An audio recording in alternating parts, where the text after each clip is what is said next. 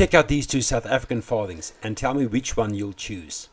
A 1923 MS66 Brown, the first year of release and the finest known coin. Look at that coin luster and eye appeal. Or this 1930 MS63 Brown is the second finest known coin, and still pretty, but not quite as pretty as the 1923. The 1923 farthing is worth around 2,500 Rand. The 1930 is closer to 15,000 Rand, possibly higher. Why? Mintage figures and survival rates. In 1923, 32,800 farthings were minted, and in 1930, only 6,560. And far fewer 1930s survived as well. Always check your mintage figures, as quality and grade are not the primary determining factors when it comes to value.